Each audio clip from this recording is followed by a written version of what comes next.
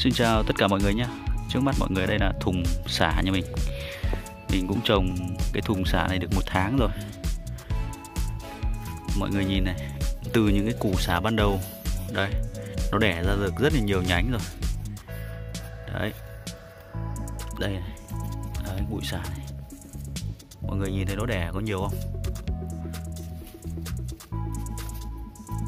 Thì hôm nay mình sẽ xin giới thiệu với mọi người nhé ba cái cách để mình dâm cái xả này nó ra dễ. Sau đó thì mình sẽ trồng vào trong cái thùng cái chậu nhá, mọi người nhá.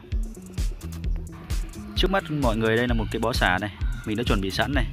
Đây là một cái loại củ gia vị là hết sức là thân thuộc đối với bữa cơm của người dân Việt Nam chúng ta. Thì ở đây mình đã chuẩn bị sẵn là ba cái giá thể một là, thứ nhất là mọi người nhìn này, đất này. Cái ở giữa này là nước. Và cái bên cạnh này là cát thì thực tế là trong cái quá trình trồng thì trồng cái cây xả này thì mình cũng đã dâm ờ, vào cát rồi. Sau đó thì mình mới trồng ra đất. Để khi mà cái bộ rễ của nó nó đã nó đã phát triển rồi thì mình trồng ra đất thì nhận thấy là trong cái quá trình mà mà cái cây xả này nó lớn rất là nhanh. Thế cho nên là uh, trước khi trồng xả thì mọi người cũng lên uh, dâm trước. Sau đấy thì mọi người hãng trồng mọi người nhé. Thì bây giờ mình sẽ làm cho mọi người xem nhé. Uh, trước tiên là mình sẽ cho ba củ này vào trong nước này đấy cho vào nước. À, tiếp theo này cái gì dễ ta làm trước này. À, ta sẽ cho vào cát này. Một người cắm à, sâu xuống một chút. Cắm sâu xuống và cắm nghiêng một chút. Đấy. Cắm sâu xuống và cắm nghiêng một chút nha. À, và tiếp theo là mình sẽ làm với cái giá thể đất này. Đấy đất cũng rất là tơi xốp.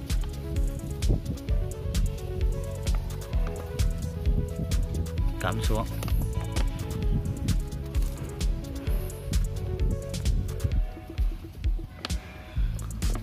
Cây xả này thì mọi người khi mọi người dâm thì mọi người có thể là uh, cắt bớt đi.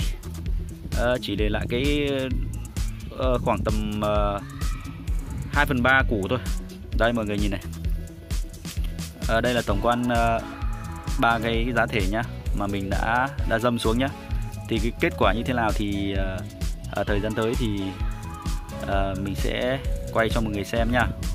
Ba cái chậu mà mình đã dâm những cái củ xả này sau 12 ngày nhé mọi người nhé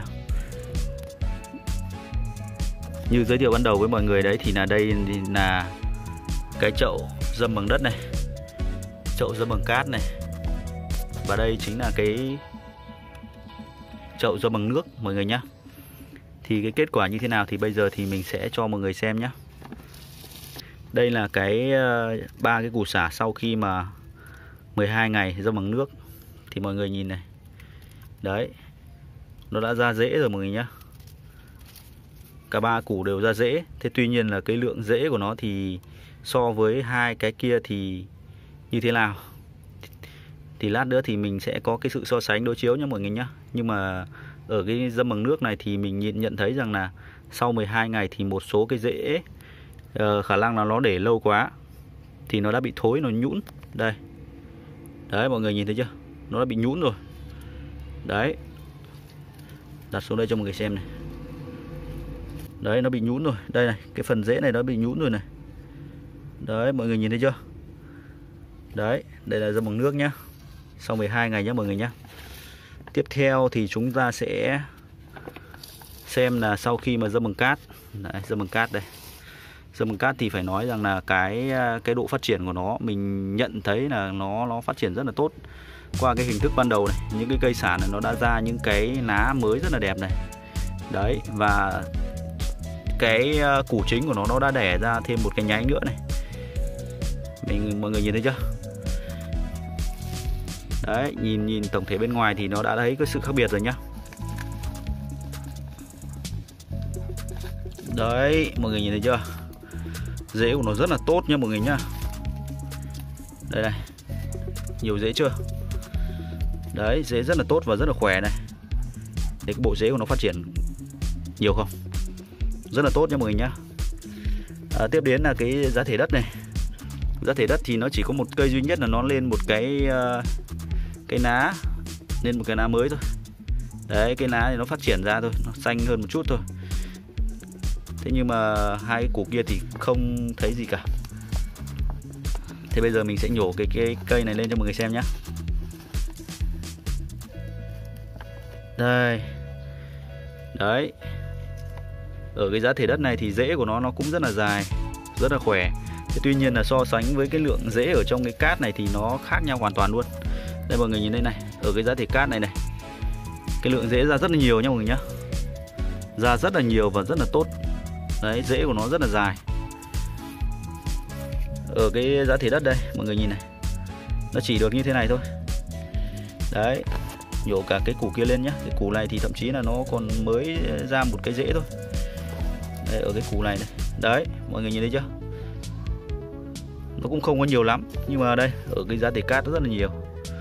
Thì ở cái chậu ờ, xả này thì mình cũng đã sử dụng cái phương pháp là dâm bằng cát giống như cái video mà dâm uh, các loại rau thơm bằng cái cái cái, ờ, phần cuống bỏ đi đấy.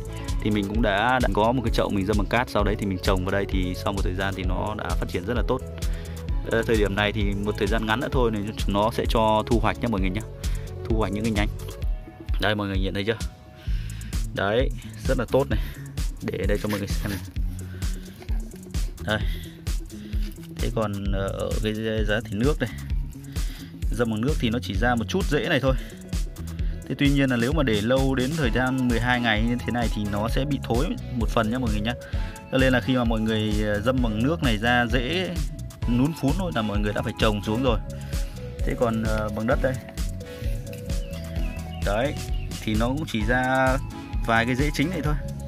Còn cái rễ những cái rễ con thì nó không nhiều. Đấy nhá mọi người nhé Đấy, ở video này thì mình sẽ xin uh, chia sẻ với mọi người là ba cái phương pháp dâm xả trong các cái môi trường khác nhau thì cái kết quả nó sẽ như thế nào. Thì mọi người đăng ký kênh để ủng hộ mình nha xin uh, mình xin kết thúc video này tại đây nhá. Xin chào tất cả mọi người nhé